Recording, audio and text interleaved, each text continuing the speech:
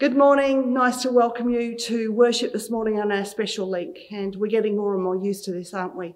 But I do pray as that we sit on our couches this morning, as you spend time um, in worship and uh, bringing your love and your worship and your honour to God this morning, that He, you will know His presence and uh, He will bring you closer to Him. He will speak to your heart and uh, you will know the presence of God um, as you sit and you contemplate and you join in the words and the message this morning.